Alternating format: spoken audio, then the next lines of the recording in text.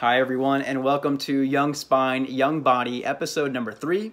My name is Albert Vaca. I want to thank you for joining me today. I hope all of you are doing really well. Today, I want to talk to you about the uppermost portion of the spine, the cervical spine. The neck has a lot of different muscles, which you know make you go like this, this, this. Today, I want to talk about the scalene muscles. Now, the scalene muscles is actually a group of three muscles that attaches to the neck and comes on down and attaches to the first two ribs. There's one, two, three attachments to it. One, two, three attachments to it like that. And so what these muscles do is they help you flex the neck and they also help to pull your rib cage upwards. And while it does that, it actually helps aid in respiration. So it actually gives you a better breath. A lot of times these muscles can get shortened just by looking down at our phone too much, driving a car, working on the computer, and general stress because everything kind of tightens up here. So the more we can keep these loose and nimble, the better off we are. So here's the first stretch I want to show you. This is your scalene stretch. Just very gently above your ear, grab it and pull it onto the side. You don't want to pull too hard. When you're stretching, in any stretch for that matter, stretch to the point where you can have an ideal conversation with somebody. You're not pulling like this and straining your voice. You don't have to go that hard. So just bring it back to where you feel a nice stretch and hold that for about 30 seconds on that side. Then you roll your head downwards to a 45 degree angle. Now you're looking almost down towards your, uh, towards your toe there. When you're ready, at about 30 seconds, roll your head backwards along that line. Now you're going 45 degrees upward and back. So that kind of gets the more anterior muscle going on here, okay? Roll it back, and do your other side. So 30 seconds, 30 seconds, and 30 seconds there. Okay?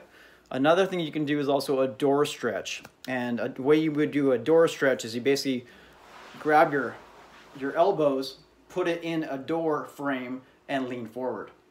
Because that helps out your stretching your chest muscles like that. So you want to help loosen those up, loosen this up, That'll help a lot of your neck pain. And if you have any kind of radicular symptoms, any nerve symptoms going on in your arm, that is uh, that can be very helpful for you too. Okay, so let's do a little qigong movement. This is called water and fire meet. So water in regard to the kidneys. Okay, the kidneys are in charge of the spine, and then fire is in charge of the chest. Okay, the heart area. Okay, so we're gonna help open up and and manage those two because yin and yang, right? The fire, the yang the water, the yin. So the water and the fire meet and, uh, and, and help us get better. So here we go. Get yourself in a nice even stance. Legs slightly bent. Shoulder, feet shoulder width apart. Shoulders relaxed, neck relaxed, jaw relaxed. Even your ears and your eyelids, see if you can do that too. Going to slowly come down. We're going to rub along the inside of our legs,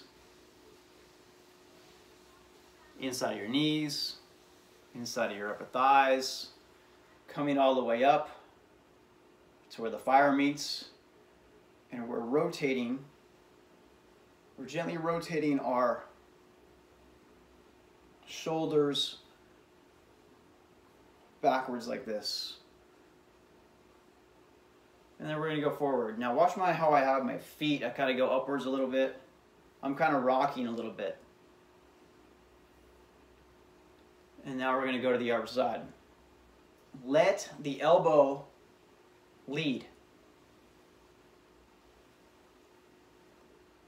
You're stretching out your rhomboids, your lats, your trapezius, your middle back. Let's go the other direction elbows are leading the way. Rotate that spine a little bit as you come along. When we finish up, we're going to inhale, exhale,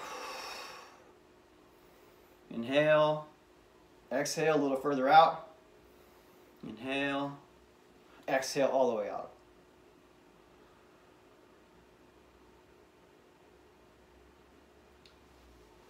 That's Water and Fire Meet.